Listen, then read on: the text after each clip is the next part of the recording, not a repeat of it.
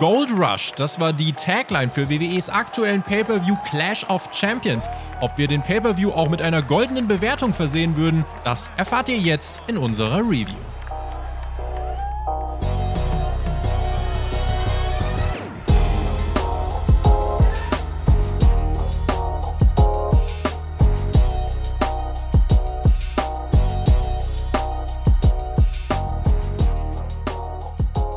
Der Preis ist heiß. Wie nice diese Wrestling-Veranstaltung war, das werden wir jetzt besprechen. Wir blicken zurück auf Clash of Champions 2020 und ordnen ein, was passiert ist. Clash of Champions 2020 mit dem Björn, mit dem Chris, die Dreier Spotfight-Kombo, zwei Spotfight-Hoodies am Start. Der Björn äh, hat den Dresscode leider, hat die Mail nicht bekommen, äh, sitzt im Jobber-Club-Shirt da, ist auch nicht schlecht, sage ich mal so, ne Björn? Aber nächstes Mal, nächstes Mal mit Spotfight-Hoodie, habe ich gehört. Ich weiß halt, was gut ist. Und da ich meinen Spotfight-Hoodie nicht nur zur Aufnahme trage, so wie ihr, weißt du, um irgendwie zu zeigen, weißt du, so angeblich, ihr seid so angeblich wie Spotify Confirm und so und ihr liebt das ja alle so sehr. Sondern dass ich es in meiner Freizeit trage, ist er gerade leider in der Wäsche. Hm. Schade. Chris hat sich dran gehalten. Wunderschönen guten Morgen. Wunderschönen guten Morgen an euch beide und an alle Zuschauer. Ja, Clash of Champions. Also Gold ist schon mal meine Lieblingsfarbe. Das heißt, es war auch alles schön Gold gehalten im Thunderdome. Es steht viel Gold auf dem Spiel. Nette Grundvoraussetzungen für mich. Warum hast du nichts Goldenes an, wenn Gold deine Lieblingsfarbe ist? Weil ich heute Andersfarbe bekenne. Und zwar für Spotfight. Okay. Und das ist ein, ein, wie ich finde, gutes Zeichen. Wenn ihr auch Farbe bekennen wollt für Spotify, guckt mal in der Videobeschreibung. Dort gibt es den äh, Link zum Merch-Shop und dann könnt ihr euch auch ein Hoodie bestellen äh, und ganz viele andere Sachen. Also guckt da gern mal vorbei. Und wenn ihr einmal dabei seid, äh, Tabs durchzuklicken, geht mal auf spotify.de. Dort könnt ihr diese Show bewerten. Es gibt ja auf YouTube keine Abstimmung mehr, aber ihr könnt auf unserer Website schreiben, äh, beziehungsweise einfach mal klicken, wie ihr diese Show bewerten würdet. Da bin ich sehr gespannt auf das Ergebnis, muss ich sagen. Ich würde sagen, ohne weiter groß hier rumzudrucksen, gehen wir einfach mal rein. Es gab ja ein paar Veränderungen. Die wurden uns dann im Kickoff mitgeteilt. Es sollte ja eigentlich das Match von Selina Vega gegen Asuka stattfinden im Kickoff. Dazu kam es aber nicht, denn WWE hat uns zu Beginn mitgeteilt, Nikki Cross, Shayna Baszler und Nia Jax haben keine Freigabe bekommen. Und deswegen werden diese Matches heute so nicht stattfinden. Chris, das war dann erstmal so. Ja, das ist der einfache Weg, wie man sich daraus gebuckt hat. Und ich denke mal, da wird auch keine weitere Erklärung kommen. Schätze Aber nicht. was hätte man anders erwartet? Also ich denke mal, das war jedem klar, dass es so gelöst wird, oder? Björn, deine Einschätzung. Na gut, wir kennen die WWE, die gehen damit nicht halt nicht offen um. Ähm, wir wissen alle, woran es wahrscheinlich gelegen hat. Dann hoffen wir, dass es die nicht so hart erwischt und gute Besserung auf diesem Weg. Und ähm, hoffen wir, dass wir sie bald wiedersehen. In frühestens zwei Wochen. Bailey gegen Nikki Cross fand nicht statt. Killian Dane, der Freund von Nikki Cross, wohl positiv auf Corona getestet, äh, daher äh, eine Änderung. Auch ein Women's Tag Team Titelmatch gab es nicht. Nia Jax und Shayna Baszler äh, ebenfalls außer Gefechte. Das sind aber jetzt nur Spekulationen. Also offiziell von WWE heißt es, sie haben keine Freigabe bekommen. Das kann diverse Gründe haben. Äh, vielleicht haben sie auch alle nur verschlafen, wir wissen es nicht. Äh, es soll weitere Details geben äh, bei Raw zum Tag Team äh, Geschehen rund um Nia und Shayna Baszler und Bailey sollte sich dann später hier in der Show noch äußern. Stattdessen gab es im Kickoff ein SmackDown Tag Team Titelmatch. Cesaro Nakamura gegen die Lucha House Party. Ich habe hier drei Punkte stehen. Äh, ich habe mir notiert, sie hatten ein gutes, aber irrelevantes Match. Coole Spots, alle sind gut in ihrem Beruf und am Ende Titelverteidigung noch etwas mehr als 10 Minuten. Ich habe nur einen Punkt hier stehen. Ich werde nur für den Pay-Per-View bezahlt und von da habe ich die Pre schon nicht geguckt. ja, mir ist aufgefallen, Cesaro und Nakamura haben vorher angedeutet, Champagner zu trinken, aber das haben sie natürlich gelassen, weil sie noch arbeiten müssen. Also ganz clever. Und an sich, ja, Cesaro gegen so kleinere, schnellere Gegner ist immer cool anzusehen. Und was vielleicht noch erwähnenswert ist, die Zusammenarbeit zwischen der Lucha House Party hat eigentlich ganz gut funktioniert. Also das hat man jetzt nicht so wirklich gemerkt. Und ansonsten, Kalisto hat den Pin eingesteckt. Könnte ein weiterer Grund für Lince Dorado und Grand Metalik sein, zu sagen, okay, komm, wir lassen das mit dem. Und dann doch die Trennung. Das wird sich dann. Ist ja nichts Spannendes passiert? Haben die sich nicht getrennt, irgendwas? Nee, es gab Streit. nee, Kalisto hat einfach den Pin eingesteckt, aber ansonsten haben sie ganz gut zusammengearbeitet. Also wir haben einfach zum 80. Mal dieses Match gesehen. Also ihr habt es gesehen, also ich bin ja nicht so doof, aber ähm, Und es ist nichts passiert. Okay, cool. Wir haben den Pay-Per-View in Gänze betrachtet, inklusive Kickoff und haben auch dieses Match mitgesehen. Wenn dann schon richtig. Wenn dann schon richtig, wenn dann wirklich vollen Einsatz. Vollen Einsatz, den gab es auch im Opener der Pay-Per-View-Card. Ein Triple Threat Ladder Match. Das las oder es äh, hat sich erstmal gelesen wie ein spektakulärer Opener. Björn, würdest du einfach mal so aus dem Bauch raus sagen, dass es ein spektakulärer Opener war? Ich würde sagen, das ist der Grund, warum ihr diesen Pay-Per-View schauen solltet. Ähm, wobei, nee, es gibt noch was, aber ähm, dieser Anfang war für einen Opener super. Also, das Leather-Match zu bringen, ist natürlich clever, ähm, weil das weiß, die Action ist garantiert. Und äh, du möchtest ja nicht mitten in der Show oder kurz irgendwie vor dem Main-Event oder was anderen Leuten noch die Show stehlen und die haben hier einfach komplett abgeliefert. Ich und Chris waren ja so ein bisschen skeptisch auf, wir haben mal gesagt, so, okay, das Match zehn Jahre früher und ähm, wahrscheinlich würde es uns eher begeistern. Aber ich denke, für das, was sie noch können, haben sie richtig hart gebammt. Also da waren einige krasse Sachen dabei.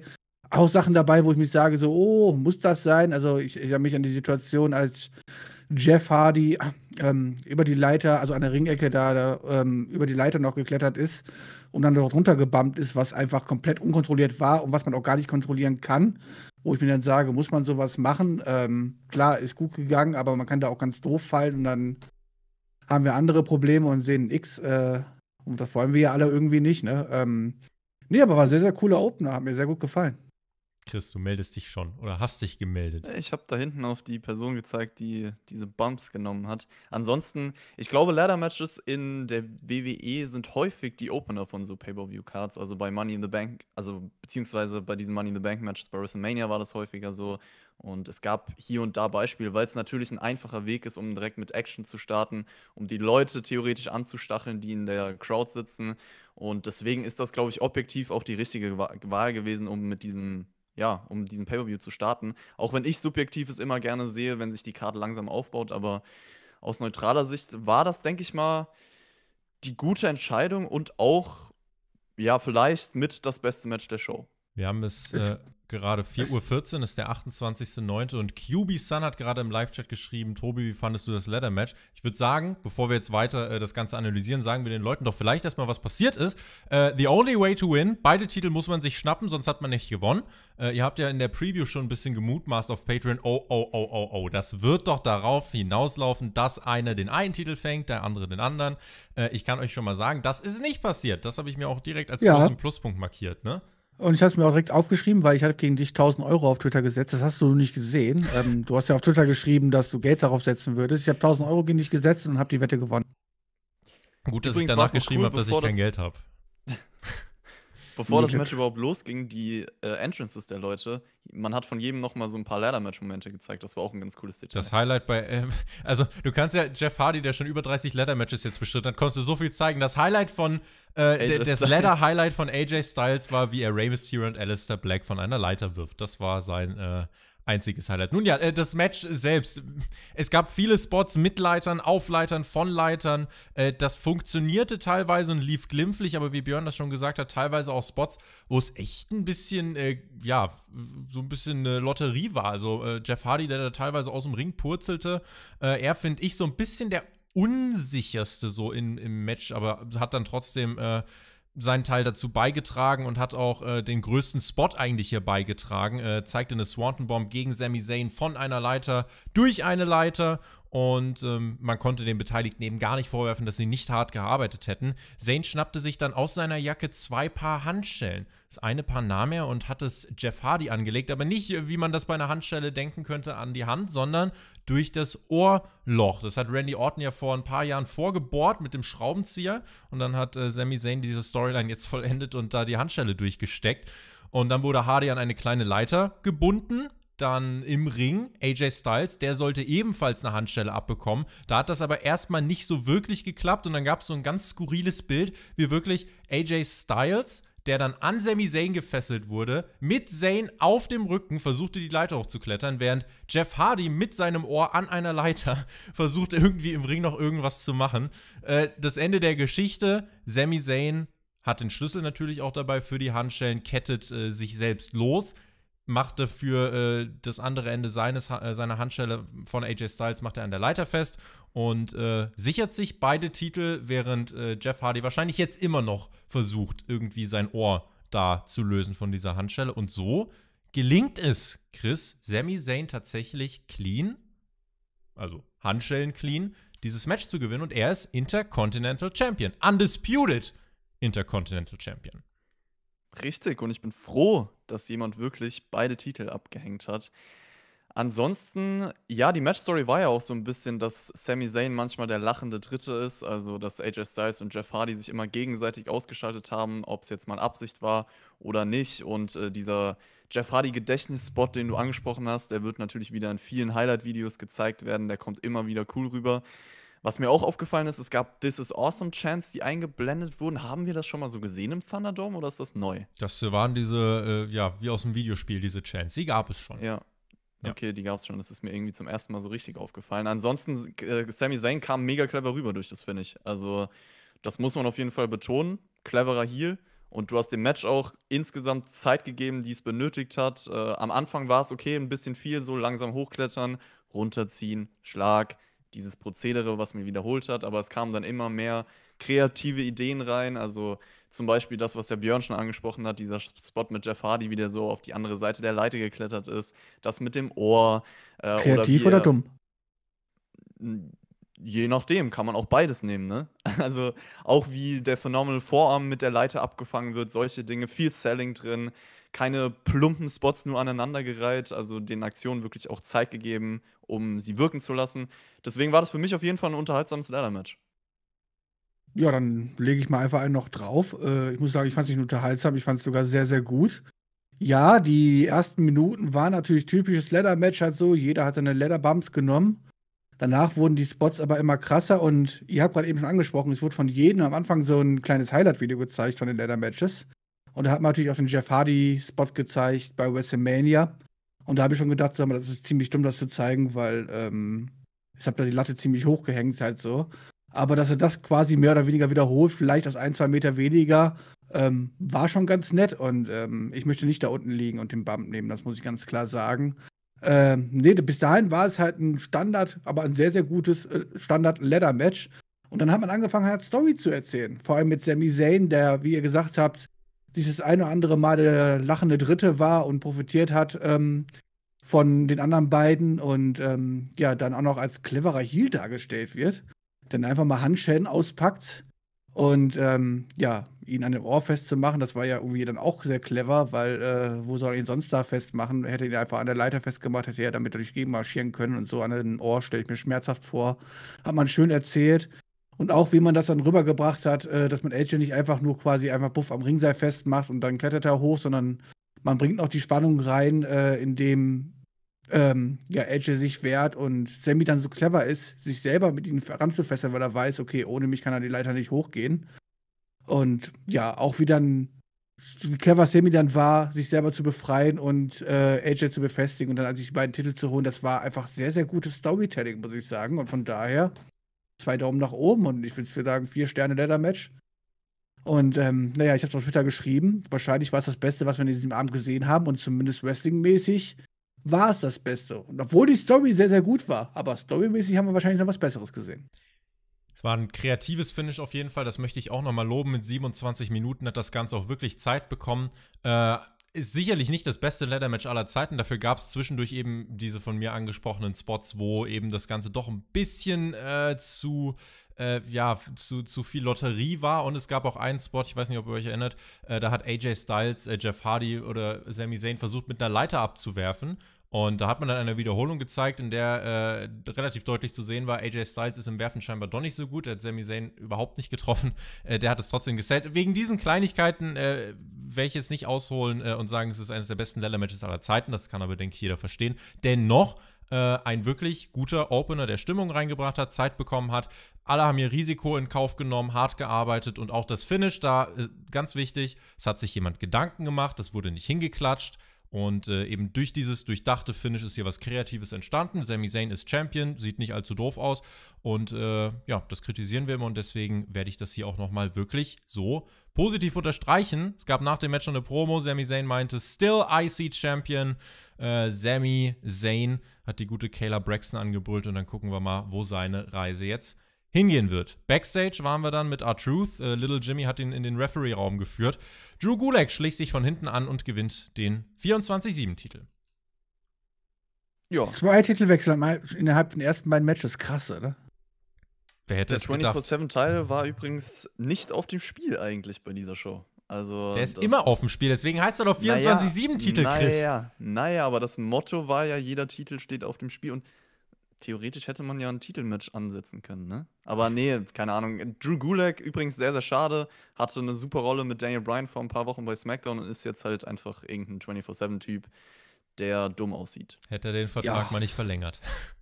Hoffen wir einfach mal, dass nicht vom Hai gefressen wird. Mhm. Wie Akira Tozawa. Ja, ich, also ich weiß auch ehrlich gesagt nicht, wenn Drew Gulak jetzt sagen würde, nee, ich mach das nicht, vielleicht würde er dann direkt wieder entlassen werden. Deswegen hat er sich wahrscheinlich gedacht, komm, machen wir einfach mal alles mit mein Beileid. Danach hat man nochmal ein äh, Highlight gezeigt aus der Network-Doku WWE Chronicle zu Jay Uso.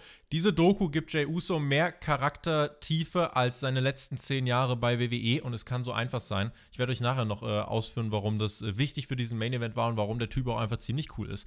Dann nicht im Kickoff, sondern in der Main Show ging es weiter mit dem Raw Women's Championship Match. Selina Vega gegen Asuka. Vega bekam etwas Offensive, durch, äh, durfte den Arm von Asuka bearbeiten, circa 4-5 Minuten. Danach gab es Einrollerversuche. Asuka setzte den Asuka-Lock an und das Match war vorbei. Ja, man hat versucht, irgendwie Selina Vega noch irgendwie gut darzustellen. Ja, hat ihr versucht, so ein paar Spots zu geben.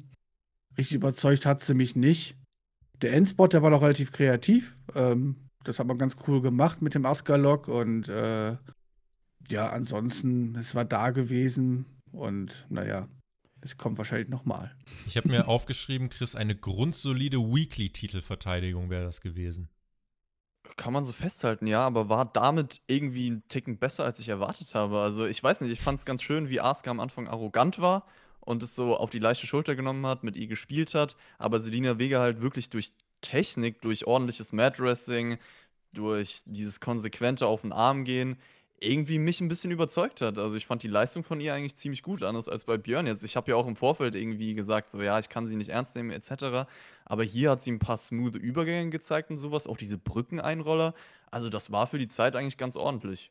Also für so ein Übergangsmatch nehme ich das so. Für Pay-per-view-Ansprüche waren diese sieben Minuten für mich ein bisschen zu flach leider. Deswegen, also ich fand Selina Vega auch, wie gesagt, alles für mich grundsolide für eine Weekly, für ein Pay-Per-View, deswegen leider, äh, keine Ahnung, da hättest du Mickey James gegen Asuka hier nochmal gebracht äh, als Rematch, weil das Referee-Finish äh, nicht so klar war und hättest hier irgendwie 10 Minuten, Asuka gewinnt clean und so kannst du den Haken dran machen.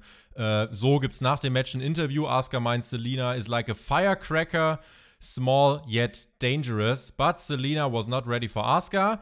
Dann bietet sie Vega ihren, äh, bietet einen Handshake an. Vega verbeugt sich, um Asuka dann zu attackieren. Hat Baron Corbin ja nach dem letzten Pay-Per-View auch gemacht, hat er mit Riddle attackiert. Äh, ist also gang und gäbe. Und Asuka brüllt dann auf Japanisch einige Dinge herum. Und ich fand, das hier hätte alles eins zu eins so Björn in eine Raw-Ausgabe gepasst. Das hätte eins zu eins so in eine Raw-Ausgabe gepackt und ich gehe schon mal weiter. Bis auf die letzten beiden Matches hätte die komplette kommende Show. Eins ja. zu eins in einer Hotshotting War-Ausgabe gepackt. Da hätte man gesagt, wir verteidigen einfach mal alle Gürtel. Das macht man ja ganz gerne mal. Und dann Monday. Hätte das bis auf die letzten beiden Matches wahrscheinlich noch so in die War-Ausgabe gepasst. Ähm, ja, ich hätte aber von dir, Tobi, gerne die Übersetzung. Ich habe mir die Promo am Ende, nachdem Asuka attackiert worden ist, extra aufgeschrieben auf Japanisch. Und ähm, sie, hatte sie hatte gesagt, Arak! Arak! Kata, kata, kaka, ark, kata, kaka, ark. Ja, das heißt um, ganz einfach, das ist japanisch und heißt, kauft euch einen Spotfight-Hoodie. Da ah, kann man auch ah, drauf kommen. Okay. Kann man auch okay. drauf kommen. Kann ja. das der Japan-Experte Christian bestätigen? Das kann ich bestätigen und ich hoffe, dass sich hier nicht lustig gemacht wird darüber, ja, weil das ist eine ganz tolle Sprache, ein tolles Land und besonders tolles Wrestling. Schaltet ein für das G1 Tournament, was gerade läuft. Es wird bei uns äh, auf Spotify eine G1 Review geben, wenn das Turnier vorbei ist, äh, weil das nachgefragt worden ist. Äh, ja, das wird kommen. Also äh, bitteschön, Chris, wenn das dann 15 Klicks hat, äh, dann weißt du, nächstes Jahr ist es dann erst wieder soweit. Alles für Klicks. Und wann darf ich endlich mein NXT UK machen? Du darfst jederzeit eine NXT UK Review machen auf Patreon. Ja, habt ihr gehört. Sehr gut. Dann. Ich muss nur einen Partner finden, so ein Scheiß. United States Championship. Apollo Crews gegen Bobby Lashley. Erneutes Titelmatch für Apollo. Die Paarung äh, gegen Lashley äh, ja, gab es jetzt ein paar Mal. Seit dem 15. Juni diesen Jahres hat Apollo Crews ausschließlich Matches gegen Mitglieder des Hurt Business bestritten. Nichts anderes. Nur gegen das Hurt Business seit äh, dann jetzt mittlerweile fast drei Monaten. Das ist vielleicht auch ein Grund, warum der Hype für das Match jetzt nicht über die Maßen groß war. Cruz bekam einige Nearfalls gegen Lashley. Der zeigte effektiv in diesem Match zwei Moves, nämlich ein Uranagi und einen Full Nelson. Und das hat nach acht Minuten auch zum Sieg gereicht. Ja. Ja, Chris, du darfst nicht mehr ehrlich. Ich weiß nicht, was ich dazu sagen soll. Von daher sagst du irgendwas dazu. Sinnvolles. Lass dir was einfallen. Ich, ich lass mir was einfallen. Also erstmal ist mir noch aufgefallen, dass Lashley irgendwann so einen Elbow Strike richtig oversellt hat. Und ansonsten hat man gegen Ende ein paar Kontersequenzen eingebaut. Ich fand die Matchstruktur eigentlich ganz gut. Klar, ist jetzt im Vorfeld kein Match gewesen, worauf man irgendwie gespannt war. Hätte auch bei Raw stattfinden können. Aber ich finde auch, dieser Full Nelson Submission Move ist endlich mal ein Move, der auch geschützt wird. Also man weiß eigentlich, wenn der kommt, ist das Match vorbei. Und das ist selten bei Moves in der WWE so. Ich fand ja das Payback-Match gut. Das hier war jetzt nicht so gut wie das Payback-Match. Das war nicht so stiff, sage ich jetzt einfach mal. Das war nicht so spannend, nicht so kompetitiv, aber es war auch solide, würde ich sagen. Und es hat ein bisschen gezeigt, dass die Stellung von Lashley seitdem natürlich nochmal auf ein höheres Niveau gegangen ist. Also, dass er deutlich über Cruz steht. Und das hat man, wenn man die beiden Matches vergleicht, auch gemerkt. Und kein Retribution, ja. Das war die haben sonntags klar, frei. Die haben sonntags frei, einfach genau. frei. Das ist, das verstehe ich aber ehrlich gesagt auch nicht. Also, das, warum ist ihnen das eigentlich so egal? Wenn sie so randalieren wollen. Die haben da jetzt sogar Verträge. Ja, aber nicht fürs Wochenende, nur für Montags. die haben ja nur für Raw unterschrieben. Ja, stimmt. Aber, und die, die anderen, was ist mit Lashley und Apollo? Die haben auch nur für Raw unterschrieben. Ja, wenn man darüber nachdenkt, könnte man auch sagen, Retribution müsste eigentlich jedes Match immer zerstören, anstatt wie, auch nur Wie heißt es in einigen YouTube-Kommentaren so schön? Wartet doch erstmal ab. Leute, ja, ja. wartet erstmal ab. Raw Underground muss ich da eigentlich immer noch abwarten ja, oder kann ich jetzt endlich sagen, dass. ich habe mir zu diesem äh, US-Title-Match äh, aufgeschrieben, ebenfalls solides, aber kurzes Weekly-Match, acht Minuten, aber für ein Pay-Per-View für eine Großveranstaltung äh, auch das, ja, nichts, was man irgendwie groß gesehen haben muss. Und wir waren, das hat Björn schon ganz richtig gesagt, wirklich in dem Block der Show, den es wirklich nur gibt, weil wir wirklich alle paar Wochen im Pay-Per-View raushauen müssen. Und, äh, ich Wobei ich sagen muss, die zwei Matches jetzt fand ich noch voll in Ordnung, so auch für, von der Zeit. Ja, die waren ja nicht schlecht, aber es ist halt, also es ist halt total irre. Kann man aber, finde ich, trotzdem so als, als kurze Dinger beim Pay-Per-View bringen. Ich finde eher die zwei, zwei Sachen danach waren jetzt kritisch. Die hätte ich überhaupt nicht auf den Pay-Per-View gebracht. So, dann packe ich mal aus. Es gibt keinen Grund, dass dieses Match hätte stattfinden müssen, außer dass wir diesen Pay-Per-View haben, ja. Sonst hätte es keinen Grund gegeben, weil das Match haben wir jetzt oft genug gesehen. Apollo hat oft genug verloren. Man hat ihn versucht, hier wieder ein bisschen gut darzustellen. Ich bin da absolut auf Tobis Seite. Das kannst du so halt bei War bringen. Das musst du aber auch gar nicht mehr bringen, weil wir die Sache eigentlich schon komplett erzählt hatten. Und meine einzige Notiz, die ich habe, ist hier US-Titel Apollo Crews gegen Bobby Lashley. Klammern C für Champion für Lashley, damit ich das nicht vergesse, was das so mein. Ähm, und dann, ich Notiz, gähn. Punkt. Ich habe mal äh, ein bisschen geschaut, habe den Pay-Per-View-Kalender durchgewälzt von WWE. Mit NXT Takeover kommende Woche gab es jetzt in den letzten fünf Wochen vier Großveranstaltungen. SummerSlam, Payback, Clash of Champions, Takeover. Wenn ich jetzt das Takeover vom SummerSlam-Wochenende noch reinnehme, sind das fünf Großveranstaltungen in fünf Wochen. Und dass das jetzt auch bei NXT anfängt, nervt mich so ein bisschen. Ich glaube, also generell, weil ich mir die letzte Zeit immer mal so ein paar Gedanken gemacht habe, sechs Pay-Per-Views im Jahr sind ideal, aber wenn du halt jede äh, jeden Monat mindestens ein Pay-Per-View raushauen willst, wenn nicht sogar öfter, dann endet das genau in diesen Blöcken hier, dass du dann eben ein Rematch nach dem nächsten hast, was du schon 180 Mal gesehen hast. Und insofern, also, ja, WWE veranstaltet in fünf Wochen etwa so viele Pay-Per-Views wie manche andere Promotions im ganzen Jahr. Äh, das einfach mal so in den Raum gestellt. Raw Tag Team Titelmatch. Andrade und Angel Garza eigentlich vor zwei Wochen getrennt, äh, jetzt wieder Number One Contender. Match äh, 1.538,12. Äh, gegen nee, die Street Profits. 13. 12. auch hier, die äh, können alle arbeiten, sind alle gut in dem, was sie tun, keine Frage, aber es ist nichts, was mich irgendwie nochmal aus dem Stuhl reißen kann. Und dann gab es hier einen wackeligen Spanish Fly von äh, Angel Garza im Thunderdome. Und dann ist was passiert. Ich kann euch nicht genau sagen, wo. Irgendwas muss passiert sein. Angel Garza lag außerhalb des Rings. Im Ring Dawkins mit einem Spinebuster gegen Andrade. Eins, zwei, Kickout. Die Kommentatoren sagen, Kickout, die eingespielte Tonspur zählt bis drei durch, der Referee zählt bis drei durch. Dawkins weiß überhaupt nicht, was abgeht. Andrade weiß überhaupt nicht, was abgeht. Und das Match ist vorbei. Grund wohl eine Verletzung bei Angel Garza, die Björn für ein abruptes Finish sorgt, was man trotzdem hätte besser lösen können. Ich kann dir ziemlich genau sagen, was passiert ist. Also ich habe extra noch mal, man kann ja zurückspulen beim WWE Network, das ist ja das Tolle. Ähm, das habe ich nämlich auch getan. Auf dem preisgekrönten WWE Network. Auf dem preisgekrönten WWE Network. Ähm, 999. Nee, man hat ja direkt gesehen, dass der Ringrichter das X gemacht hat, äh, bevor, äh, bevor Gaza sich aus dem Ring gerollt hat. Ähm, und da habe ich gesagt, okay, guck mal, was passiert ist.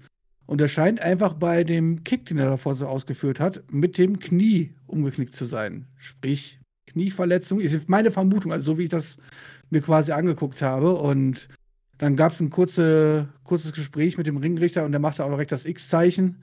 Und ähm, dann ist er aus dem Ring auch rausgerollt. Und bis dahin alles gut. Ist eine fucking scheiß Sportart, die gefährlich ist. Da kann immer sowas passieren.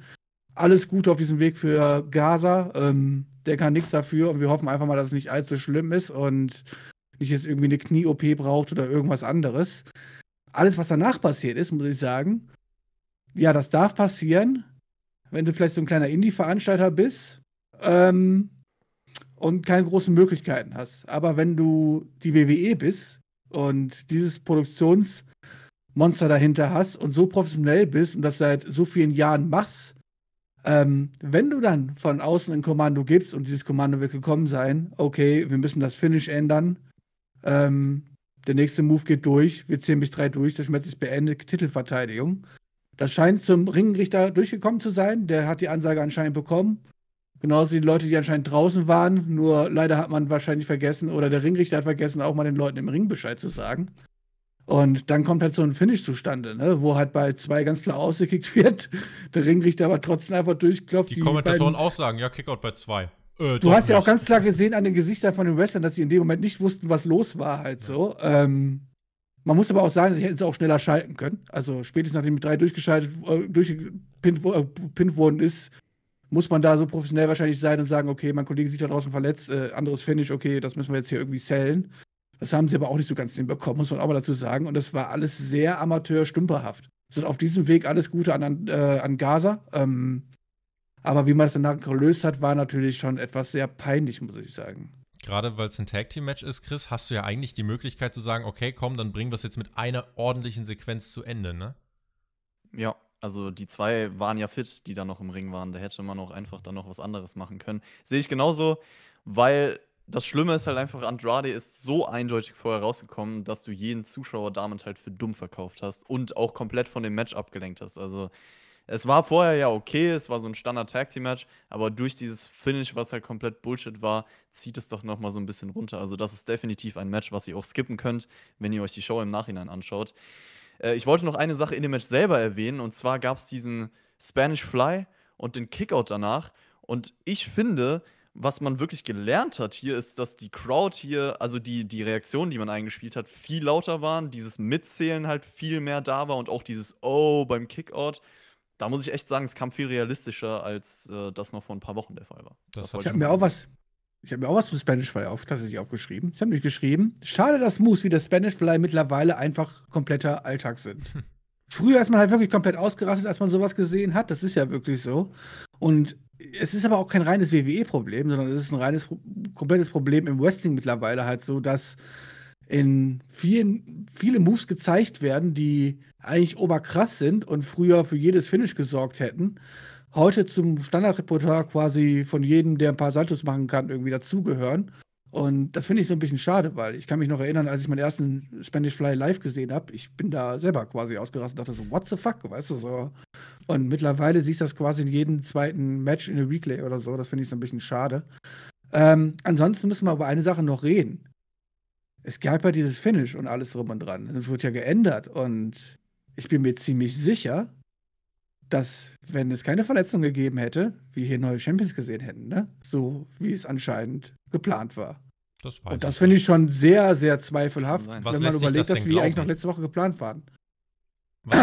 sonst, sonst hätten die versuchten Gesichter nach dem Pin nicht so ausgesehen. Also das sah quasi schon so aus, dass sie es nicht quasi vorher nee, okay, kommuniziert bekommen haben, dass das sie nicht das Finish hätte ja, sein genau, das war ja nicht der ja, nicht Pin, der ja, nicht nur das Finish sein sollte, sondern halt, ich glaube halt so, dass sie das komplette Finish geändert haben und eigentlich vorher geplant war, dass es hier einen Titelwechsel gibt.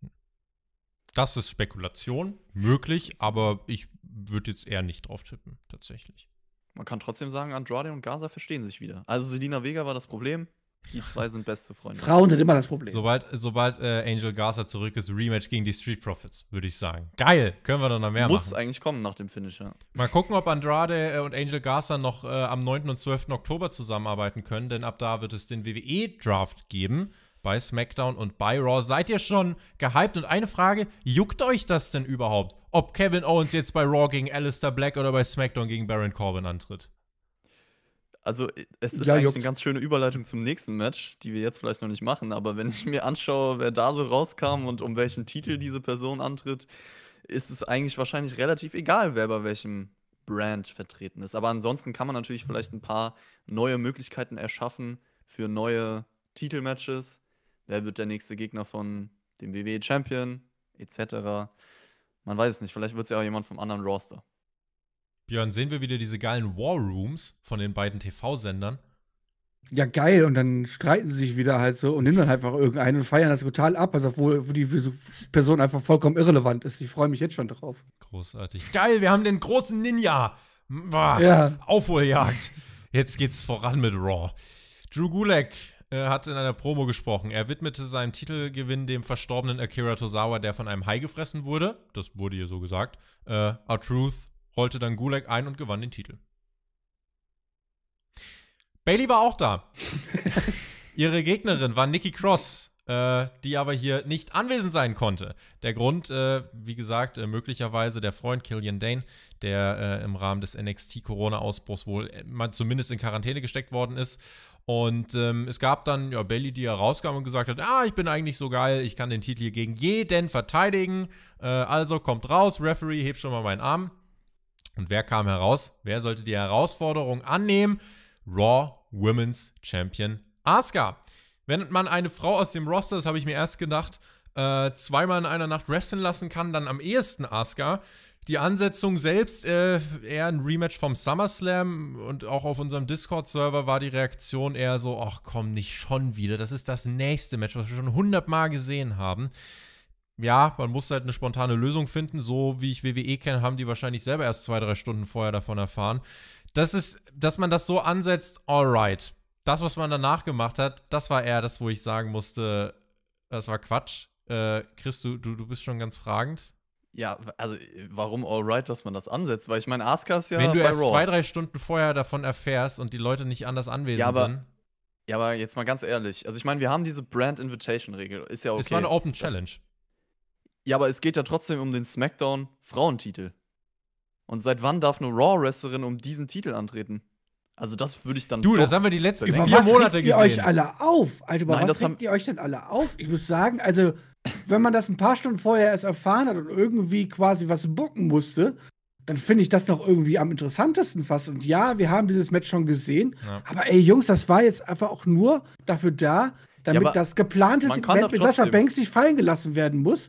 Und man hat es ja perfekt geregelt. Ich meine, das Ding war ja nach zwei, drei Minuten nach DQ Aber quasi auch erledigt. Und ich weiß nicht, wo das Problem ist. Und wenn die gewonnen hätte, dann hätte die halt einfach beide Gürtel gehabt. Und dann hätte die bei beiden Shows auftreten dürfen. Also jetzt heul mal nicht so rum, Chris ich möchte sagen, dass ich nicht finde, dass es perfekt gelöst war, weil ich klar, klar, das Match war mega kurz, aber du hättest einfach irgendjemanden vom SmackDown Roster nehmen können, irgendeine irrelevante Person. Bailey hätte sie in einer Minute squashen können, clean gewinnen können, dann hätte sie nicht dieses DQ-Finish hier noch gebraucht. Das bringt niemandem was und dann hättest du es ganz einfach gelöst und das nach dem Match trotzdem bringen können. Also perfekt sage ich auch nicht. Äh, ich sag zumindest, ich werde hier nicht draufhauen, weil wenn WWE wirklich erst zwei Stunden vorher was davon erfahren hat, dann wäre ich sie jetzt äh, unter, das mache ich generell unter diesen Corona-Bedingungen nicht, habe ich von Anfang an nicht gemacht, wäre ich auch jetzt nicht anfangen, äh, da jemanden für kurzfristige Änderungen richtig äh, zu verdreschen.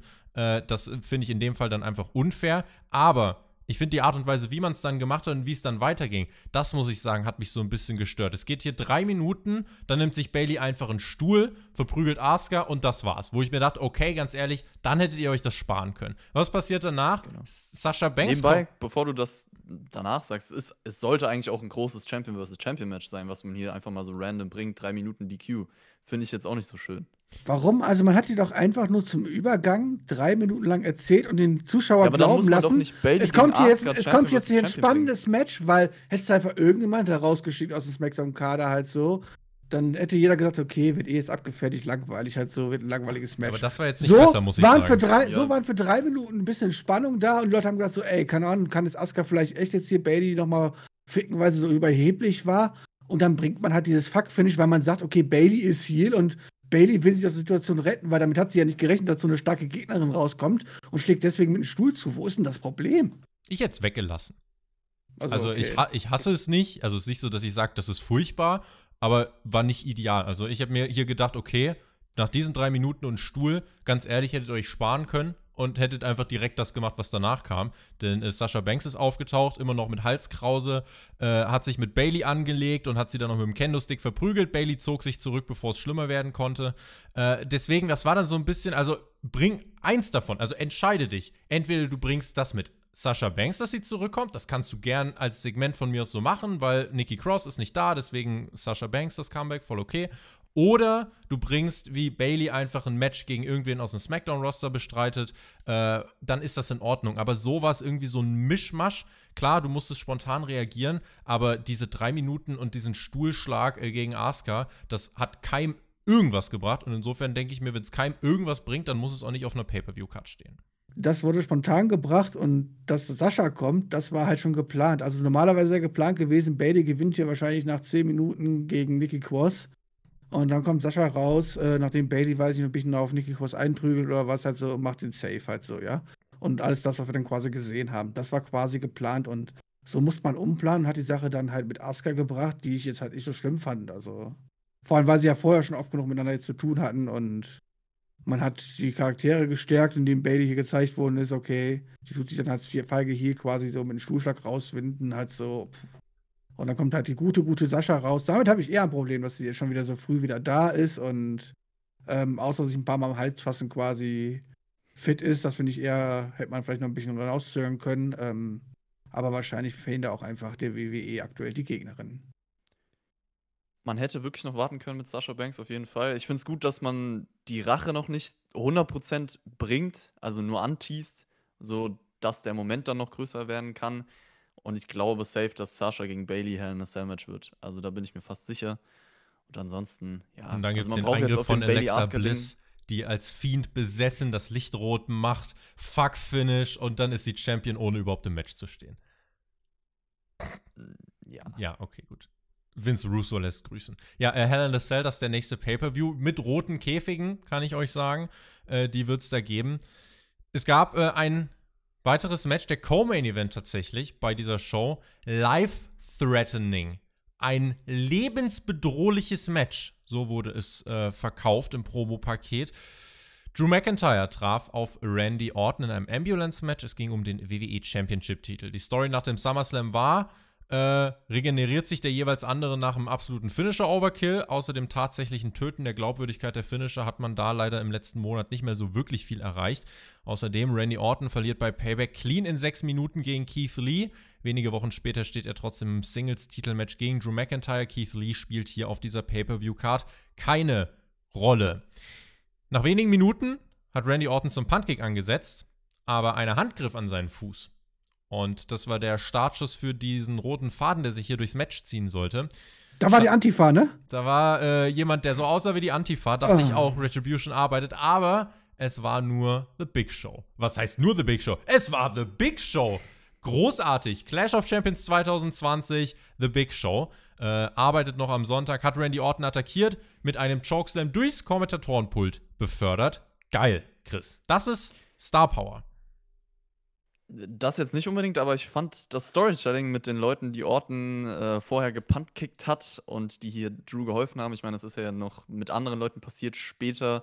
Orton hat sie immer wieder in den Promos auch die letzten Wochen erwähnt. ja, fast so ein bisschen das Storytelling-Highlight des Matches, wie man sie eingebaut hat, ehrlich gesagt. Also, das fand ich gut gemacht und der Björn schüttelt den Kopf und wird Also jetzt gerade dagegen im, im Anbetracht der. Tatsache, wie das Match dann ausging, muss ich sagen, was gewollt und nicht gekonnt eigentlich. Also ich, ich will ja nicht das ganze Match hervornehmen, ja, aber das war eine absolute Katastrophe. Das war eine absolute Katastrophe, wie du Drew McIntyre als Champion hier darstellt, der dieses Match quasi viermal verloren hätte und nur dank der Hilfe der anderen noch irgendwie jedes Mal eine Chance hatte. Ähm, Wenn es am Ende dann von mir aus einmal ist, dass die alle vier helfen oder irgendwas halt so, okay, keine Ahnung, was halt so, ja. Aber, aber so, wie man Drew McIntyre in diesem Match dargestellt hat, war das für mich eine absolute Katastrophe und hat ja, ich musste bei jedem Segment kurz schmunzeln halt so und war auch schön, ja, aber das ist halt als Storytelling, als Charakterbuilding auch für Drew McIntyre und so eine absolute Katastrophe gewesen. Sorry, also der sah aus wie der letzte Clown, der das Match hier viermal verloren hat.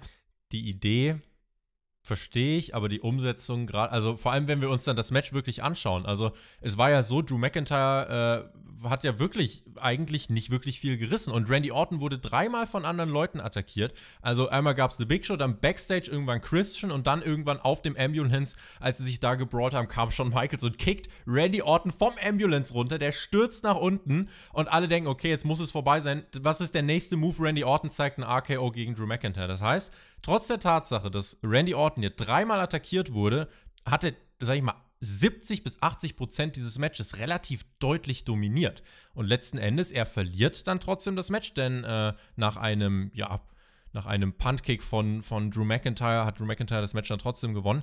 Äh, muss, man muss aber sagen, tatsächlich, er hat dafür ganz schön Hilfe gebraucht. Im Match selbst sah er nicht wirklich gut aus. Die Brawls, die es in diesem Match gab, erinnert mich so ein bisschen an ein Videospiel, wo du immer dieselbe Taste drückst. Also da war es gerade in den ersten 5, 6, 7 Minuten sehr monoton. Und äh, dann gab es eben diese verschiedenen Eingriffe. Und Drew McIntyre, klar, hat hier krasse Bumps eingesteckt, wo ich nicht Respekt habe, auf die Windschutzscheibe und so. Äh, aber letzten Endes äh, muss ich sagen, dieses Match hat am Ende nicht so wirklich wem weitergeholfen. Und äh, Björn, ich weiß nicht, wie es dir geht. Mich irritiert so ein bisschen der Zeitpunkt. Warum muss man genau jetzt Randy Orton gegen all diese Legenden äh, unterbuttern? Warum müssen die jetzt ihren Payoff kriegen? Und warum muss man das vor allem gleichzeitig machen, äh, während Drew McIntyre dann trotzdem das Match gewinnt? Also, das hat irgendwie für mich, äh, das, das wirkte nicht so wirklich schlüssig. Ich habe wirklich gar keine Ahnung. Also ich, muss auch sagen, die Bumps, die genommen worden sind und so, ja, auch auf die Windschutzscheibe. Ich meine, da hat sich ja ähm, Drew McIntyre einige Schnittwunden am Rücken zugezogen und alles halt so. Das war schon sehr ordentlich.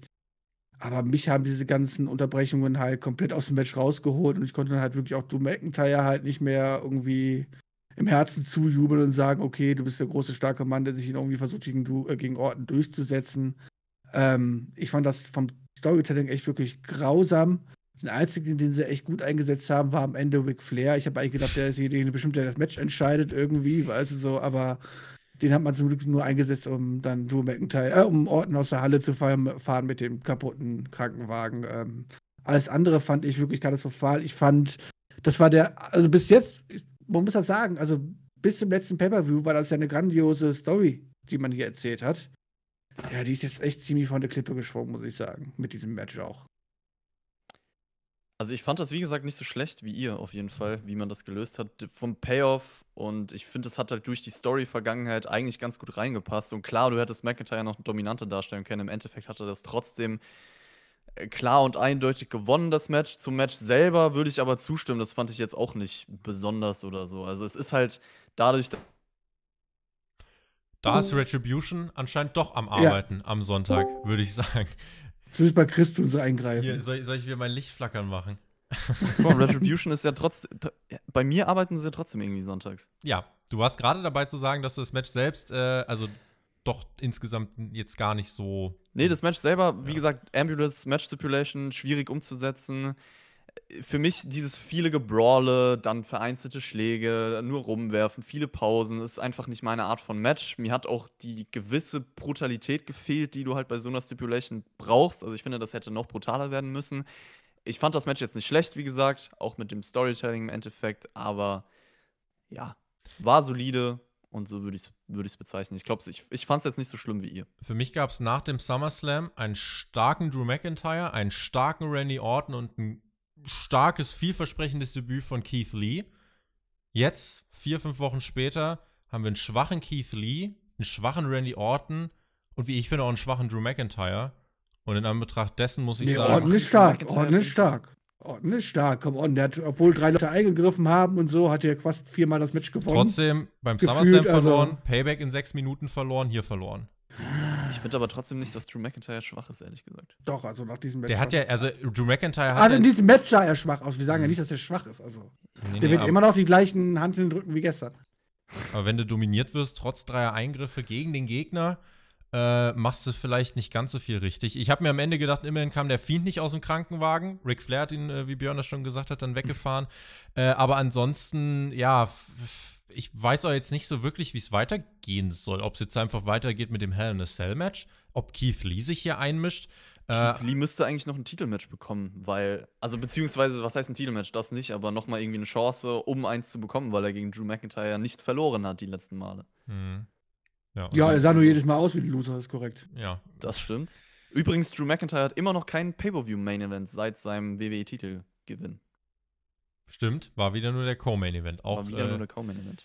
auch hier war das der Fall. Ja, also, da bin ich mal gespannt, was die Leute schreiben. Also ich würde jetzt, also ich würde jetzt nicht äh, so ein vernichtendes Urteil wie Björn äh, fällen, aber ich bin schon eher bei ihm, dass ich sagen würde, dass das äh, nicht so wirklich funktioniert. Die Grundidee zu sagen, ey, diese Legenden, die wir in den letzten Monaten hatten, die rächen sich jetzt an Randy Orton.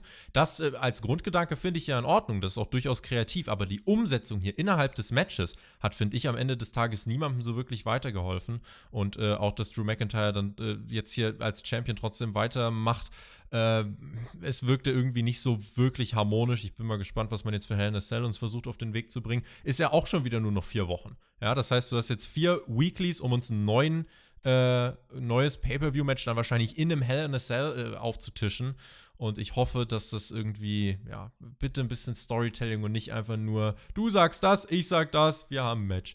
Ich würde mir wünschen, dass es ein bisschen vielschichtiger wird. Vielleicht so vielschichtig, ja, das wird es nicht werden, äh, wie dieser Main Event, den wir hier gesehen haben. Ihr habt ja in der Preview gedacht, äh, es wird der Co-Main Event, aber tatsächlich hat es die Show abgeschlossen. Was ich spannend fand, denn also das war alles andere als ein Happy End für diesen Pay-Per-View. Dennoch kann ich euch sagen, das war mein absolutes Highlight bei diesem Pay-Per-View. Roman Reigns gegen Aber ich, zur Entschuldigung möchte ich sagen, ich habe auch getippt, dass Orton der Main Event ist, weil er den Titel gewinnt. Das ist ja nicht passiert. Das ist korrekt. Roman Reigns gegen Jay Uso. Es ging um den äh, Universal Championship Titel. Diese Fehde ist das, was wir bei WWE vermissen. Storytelling mit Fokus auf Charakterbildung. Die Tiefe von Persönlichkeiten, auf die Geschichten hinter den Persönlichkeiten zurückblicken. Deswegen für mich die Fehde des Pay-Per-Views gewesen, auch wenn die noch gar nicht so viel Zeit gehabt hat. Aber hier hat man alles gemacht, was wir uns sonst immer von WWE-Storylines wünschen. Und wenn ihr euch zum Beispiel immer fragt, ja, was müsste WWE in der Tag-Team-Division machen, damit da was passiert, solche Geschichten mal mit ein paar Tag-Teams erzählen, dann würde da auch was Gutes draus äh, entstehen. Jay Uso dieses Chronicle Special kann ich euch empfehlen. Richtig cooler Typ, wie er da mit seinen Söhnen abhängt, wie er da chillt, wie er einfach so ein bisschen in seiner Küche hängt und erzählt, wie, wie die Familie sich zusammensetzt und so Auch weiter. geil, dass er hier ein Pay-Per-View-Main-Event bekommen hat. Also gönne ich ihm auf jeden Fall. Ja, auf jeden Fall eine, eine coole Sache. Kam dann auch hier heraus mit so einer, ja, mit einem Blumen, mit einer Blumenkette kam er heraus. So ein bisschen, das so ein, so ein, so ein äh, ja, Sam samoanischer Brauch, denke ich, kann man sagen. Tribut, ja. ja, Tribut. Familienoberhaupt. Familienoberhaupt. Und sein genau. Blick 100% Fokus die ganze Zeit. Roman Reigns, neues Attire. Weniger ist mehr. Die Weste ist weg, Leute. Oberkörper frei und der Mann hat eine Shape, für die er sich absolut nicht verstecken muss. Ganz im Ja, Gegenteil. sieht Ganz genauso aus wie ich. Also habe hab mich sehr äh, identifizieren können mit ihm. Und ja, passt viel besser auch zu seinem Charakter. Finde ich eine absolut richtige Änderung. Ja, definitiv. Und ich bin mir ziemlich sicher, dass da bei sehr, sehr vielen weiblichen Zuschauern ganz, ganz viel Milch in die Brust eingeschossen ist in dem Moment, als sie das gesehen haben. Der Mann kann sich so sehen lassen. Also, Chris sieht ja ähnlich aus. Ich arbeite noch dran, aber ich habe schon auch so 95% erreicht. Roman Nur die Reigns, Plauze stört noch. Roman Reigns Und der ist, Bart muss kommen. Roman Reigns ist der Topstar von WWE im Moment. Ein Segen für das Produkt und auch dieser Main Event, wie ich fand, ein Segen für das Produkt WWE. Es gab einen langsamen Beginn mit sehr viel Trash Talk. Roman Reigns hat sehr viel dominiert. Uso bekam nur sehr wenige Hoffnungsmomente, wie der Chris sagen würde, aber ich sag's nicht, weil es würde voraussetzen, dass Hoffnung äh, mit inbegriffen ist. Das war für mich nicht der Fall. Äh, es wurde im Match äh, auch herausgestellt, warum Reigns trotzdem so erfolgreich ist und Jey Uso nicht. Denn äh, es war dennoch so, auch wenn Chris gerade gesagt hat, äh, sehr fokussierter Blick bei äh, Jey Uso, war es dennoch so, Roman Reigns hat wirklich straight Business, hat einfach seinen Gegner zermatscht, während Jey Uso, wenn er mal die Chance hatte, dann angefangen hat, uh, uh, und zu tanzen wo ich mir dann dachte, okay, ja, das zeigt mir schon nochmal, also Jay Uso ist ein cooler Typ, aber vielleicht auch einfach ein bisschen naiv und das ist auch der Grund, warum er eben nicht so regelmäßig in Pay-Per-View-Main-Events steht. Ähm, nach langer Dominanz von Reigns gab es dann dieses eine große Comeback von Jay Uso. Es gab zwei knappe Nearfalls, die ich leider nicht gekauft habe. Ich könnte euch jetzt anlügen, aber nein. Äh, aber rein vom Booking her hat man da sehr viel richtig gemacht. Nochmal ein Big Splash von Jay Uso hinterher, der erneute Nearfall. Und beim Kickout verpasste Roman Reigns Jay Uso bewusst oder unbewusst, who knows, einen Low Blow. Ein kleines, feines Detail. Guter, also wirklich ein gutes Gimmick und ein Pluspunkt auf jeden Fall. Und dann hat Reigns in den Modus geschaltet, yo, screw it. Ich gewinne das jetzt nicht nur, sondern ich mache hier eine absolute Ansage. Und Reigns hat auf Jay Uso eingeprügelt und meinte, los, du hast mich jetzt anzuerkennen als den Tribal Chief. Ich bin das Familienoberhaupt. Sag es mir ins Gesicht, dass ich derjenige bin. Und Reigns meinte die ganze Zeit weiter, acknowledge me, acknowledge me. Und dann kam irgendwann Jimmy Uso heraus, der Bruder, und hatte ein Handtuch dabei. Uh, und, und meinte, ey, komm, ich kann das Handtuch werfen, dann ist es vorbei. Aber Jay meinte, don't do it. Reigns meinte, hör nicht auf ihn, es war dramatisch. Reigns prügelte weiter auf Jay ein. Jimmy wirft dann letzten Endes das Handtuch. Nach knapp 23 Minuten Reigns überreicht äh, oder Reigns bekommt von Heyman dann diese äh, Kette überreicht, von der wir gerade gesprochen haben, diese Blumenkette als Symbolwert und damit endet der Pay-per-View. Roman Reigns ist der anerkannte Tribal Chief. Er ist das Tier, das sich seine Führungsposition krallt. Rein vom Wrestling her äh, war das jetzt keine Sensation, aber rein vom Storytelling, diese Emotion, die transportiert worden, für mich der beste Main Event bei WWE bisher im Jahr 2020. Ja, bin ich bei dir. Ich habe ja nicht viel erwartet, weil ich halt genauso wie du einfach nicht glauben wollte, dass äh, Jay Uso hier eine effektive Chance hat, diesen Gürtel zu gewinnen und dass Roman Reigns den Drop, das, das war für mich wirklich komplett ausgeschlossen.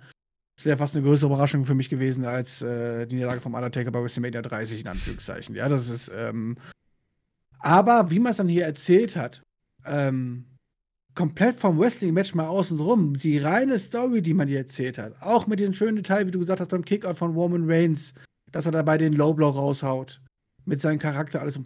Super. Auch was man danach erzählt genau das, was ich ja auch gefordert habe in der Preview. Ich hoffe, dass es erst ein schönes Match gibt, Uso ein bisschen mithalten kann, dadurch ein bisschen gepusht wird, dass man zeigen kann, so, oh, der kann auf dem Level irgendwie mithalten. Und dann will ich aber sehen, wie Waynes ihn in die Scheiße rausprügelt halt so, um Waynes auch weiter nochmal zu festigen in seiner Position.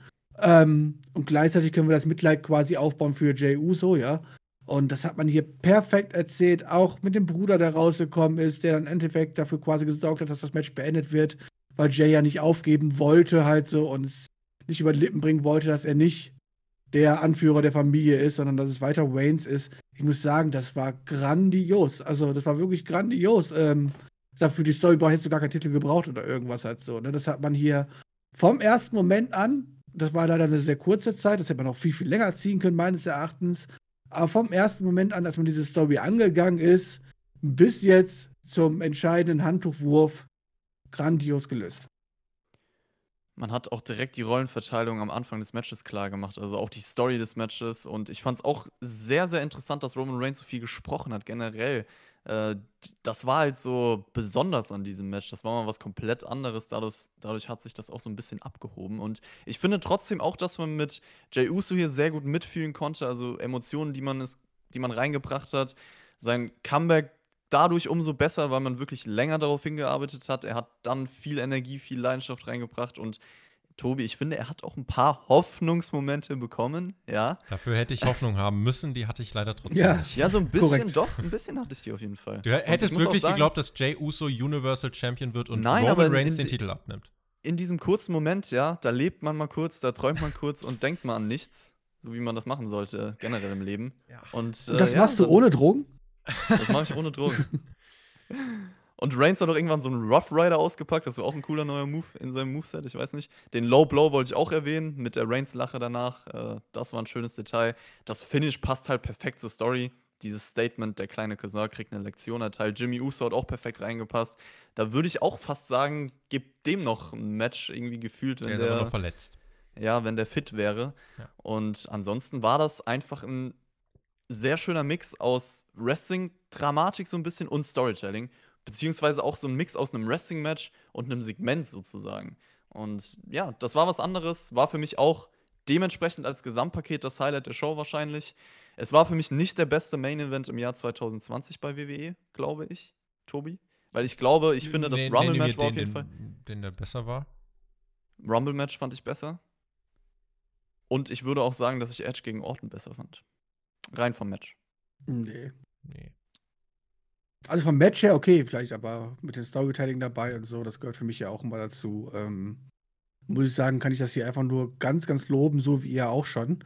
Ähm, mal gucken, vielleicht hat man ja schon was für die Zukunft aufgebaut, was ich nicht hoffen möchte, weil ich es absolut dämlich halten würde vor der aktuellen Situation von der WWE, was die Technik Division angeht, aber vielleicht ist ja Jay irgendwann noch sauer auf Jimmy, weil er das Handtuch geworfen hatte und gar nicht wollte und so. Also so, da kann man natürlich dann auch wieder Differenzen aufbauen oder irgendwas. Ähm, ich will es nicht hoffen, aber mal gucken, vielleicht nimmt man das später nochmal auf. Ähm, ansonsten muss ich sagen, ähm, hat man hier so viel richtig gemacht, dass ich einfach gar nicht, gar nicht glauben kann, dass es die WWE gebuckt hat. Und das hat es wahrscheinlich auch nicht. Es war wahrscheinlich Paul Heyman. Also man muss wirklich sagen, auch das nochmal wirklich zum Unterstreichen, Paul Heyman und Roman Reigns sind ein großartiges Duo und Roman Reigns ist exakt da, wo ihn sich alle immer gewünscht haben. Er ist nicht mehr dieser Marketing-Aushängeschild-Mensch, der halt alles gewinnt und alles weglächelt. Nein, der Typ ist jetzt ein Badass, der nur noch sich um sein Business kümmert, hat mit Paul Heyman jemanden an der Seite, der äh, dafür steht, Leute zu managen, denen es auch nur ums Business geht. Und insofern, äh, diese Kombination ist richtig stark. Wie sie es in den Matches umsetzen, ist, äh, ist richtig stark. Auch Roman Reigns, die Art und Weise, wie er es durch Mimik und Gestik transportiert, finde ich authentisch, finde ich glaubwürdig. Und das ist eine ganz wichtige, neue, starke Facette. Dass das der Main Event war, auf der einen Seite nachvollziehbar, weil es deutlich besser war als das Ambulance-Match. Und äh, ich mich, also deswegen finde ich das auch voll in Ordnung. Auf der anderen Seite, es ist halt jetzt nicht so dieses Happy End für einen Pay-Per-View. Brauchst aber auch nicht immer. Ähm, trotzdem war es schon äh, fast ein bisschen deprimierend, beängstigend, äh, wie Roman Reigns dann da wirklich stand als der Tribal Chief. Und ähm, das war als Main Event einfach für den, für den Moment, wie das geendet ist. Ich habe wirklich ein gutes Gefühl gehabt. Ich habe ein gutes Gefühl gehabt, habe mir wirklich gedacht, ey, WWE, ihr habt hier wirklich ganz viel von dem gemacht, was ich mir immer wünsche. Und äh, diese Form des Storytellings bitte weiter betreiben. Bitte, äh, der Plan für Hell in a Cell steht hoffentlich schon.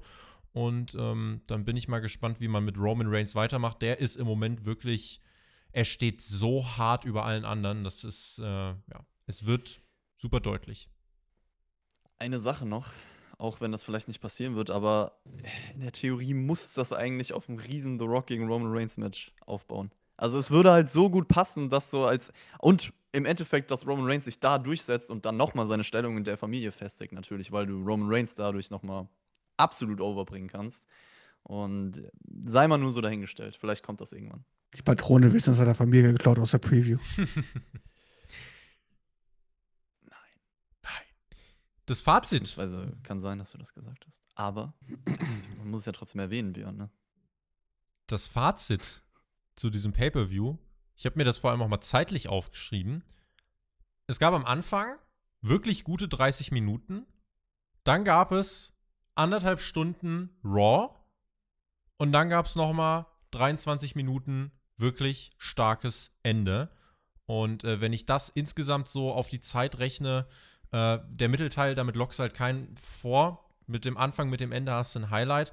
Äh, und ich habe auch mal geguckt, ich habe Payback zum Beispiel 4,5 Punkte gegeben. Da war der Main Event aber ein Clusterfuck, weil der Main Event hier deutlich, deutlich, deutlich besser war. Und wir auch ein gutes Ladder-Match hatten, wäre ich tatsächlich hier am Ende bei 6 von 10 Punkten. Ich bin gespannt. Schreibt uns das mal gern äh, gerade auch in den Live-Chat. Hier um 5.06 Uhr die 242 Zuschauer, die hier mit am Start sind. 244 jetzt sogar. Äh, 6 von 10 wäre das, was ich raushauen würde. Es gibt übrigens auch in der Videobeschreibung eine Sternewertung, die ist nur von mir und ist subjektiv. Äh, Chris, dein Fazit zum Pay-Per-View. Ich muss noch mal sagen, dass ich finde, die Thunderdome-Reaktionen waren hier viel lauter und authentischer als sonst. Ich weiß nicht, ob. Die waren viel unauthentischer. Die waren viel unauthentischer. Es gab so ein Also, lautes, so ein lautes Brummen zwischendurch, was man Ich immer finde, bei eingespielt hat. einigen Aktionen in einem Match kam mir das einfach besser Von wenn die auch das Klatschen eingespielt haben und dann alle auf ihrem Monitor am Klatschen waren und dann war der Klatsch-Sound aber schon vorbei und alle haben immer noch eine halbe Minute Ja, geklatscht. das sind halt natürlich so, andere? Beispiele. So, ich sage auch nicht, dass es hier, oh, absolut perfekte Reaktionen und so. Ich will natürlich wieder eine normale Crowd, aber ich, Ich find, möchte das unbedingt bei Thunderdome dabei sein. Ich, ich werde mich auf jeden Fall die nächsten Tage immer wieder einschreiben und werde gucken, dass ich auch einen Platz kriege. Ich möchte wissen, wie das abläuft, ob die da wirklich dann ansagen, so jetzt bitte alle klatschen oder Aber so. machen sie. Also Frag der Per, Per. der Per war ja, Ja. heute, der hat es ja tatsächlich in den Thunderdome geschafft, unser Social Media Guy.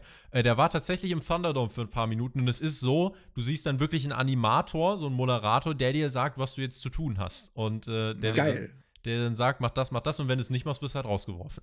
Ja, ich muss auch, ich muss unbedingt auch in diesen Thunderdome und dann Nach muss ich zwei da Minuten war es das mit der Jobber Experience. Aber ich finde es ich find's ganz lustig. Der äh, Chris lobt jetzt gerade den Thunderdome und äh, WWE hat definitiv Verbesserungen gefunden. Ich will den Nur- Thunderdome gar nicht loben. Ich will, ihn, ich will nur sagen, dass es besser geworden ist. Genau, und in so. einem Monat ist diese Era wahrscheinlich auch schon wieder vorbei. Zum Glück. Und dann werden wir wahrscheinlich wieder Zuschauer haben. Dann werden wir Zuschauer haben. Ist die Frage, wie viel, ist die Frage, wo. Äh, Die idealerweise. Frage, ist das clever? äh, lieber in Open Air, also wenn WWE jetzt irgendwie hier 5000 Leute in, ein geschlossenes, äh, in eine geschlossene Arena setzt, also dann äh, habe ich Bauchschmerzen. Ich habe generell schon Bauchschmerzen, dass Wrestling läuft, aber das ist nun mal so. Äh, aber das, ja, ist eine Sache, das müssen wir mal gucken. Äh, Hell in a Cell wird dann das letzte Event wahrscheinlich sein im Thunderdome, äh, mit Raw dann vielleicht noch danach. Und dann will WWE wohl wieder touren. Ne? Bin ich mal Wie gespannt. viele Sterne hast du denn gegeben, Chris? Ach so, ja, Meinung zum Pay-Per-View generell. Ich, also ich finde auch unterhaltsamer Opener, solide Matches danach. Dieses Raw Tag, SmackDown Frauen-Ding war für mich die schwächste Phase. Der Main Event, wie gesagt, wirklich guter Mix aus Wrestling, Storytelling. Ich finde, die Show ist auch bis zu den zwei großen Matches sehr schnell vorbeigegangen. Also ich finde es ganz schön, dass die unwichtigeren Matches alle nur unter 10 Minuten gingen. Das wollte ich vielleicht noch mal als positiven Punkt hervorheben. Und ja, dadurch die Show insgesamt ordentlich. Also ich wäre da ungefähr bei Tobi. Ja, spontane 6, so passt eigentlich ganz gut rein. Okay, also ich muss sagen, ich bin da fast komplett beim Tobi, aber auch nur fast. Äh, ich muss sagen, ich fand den Start überragend. Also ich finde, viel besser kannst du dann den Opener nicht bringen, halt so als dieses Match. Ähm, hat mich komplett abgeholt. Äh, hätte ich, ich habe erwartet, dass es gut wird, dass es so gut wird, auch mit dem Storytelling dabei und so. Dafür kann man die WWE nur loben. Das haben sie echt gut gebuckt, das Match. Die Phase, die danach kam, bis auf die beiden, also bis auf den Co-Main-Event und den Main-Event, waren wirklich das kannst du halt eins zu eins bei War bringen, aber ich meine, du musst halt auch irgendwie eine Midcard haben während eines Pay-Per-Views, aber dieser Abfall war schon quasi sehr erschreckend, sage ich jetzt mal so. Und auch nicht so relevant, außer, dass, ich meine, ich ging zwar bei jedem Match um den Titel, aber von den Ansetzungen her war man halt nicht so inbegriffen. Ähm, das lag aber auch teilweise einfach an den Ansätzen der Gegnerinnen oder Gegner, die man quasi gewählt hat. Ähm, und dann hatten wir den Co-Main-Event und den Main-Event, was natürlich schon Pay-Per-View-reif ist. Co-Main-Event haben wir angesprochen. Ich fand es teilweise grauenvoll, aber viele werden sich bestimmt darauf gefreut haben, wieder so mal kurz die alten Gesichter zu sehen und so. so hey, guck mal, Christian ist wieder da, so nach dem Motto. Ähm, vielleicht hat sich sogar irgendjemand über Big Show gefreut, wer weiß das schon. Ähm, kann man so gerne machen, halt so, äh, war ich nicht so begeistert von, aber vom Main-Event war ich wieder richtig begeistert. Also, das hat mich wieder richtig komplett abgeholt.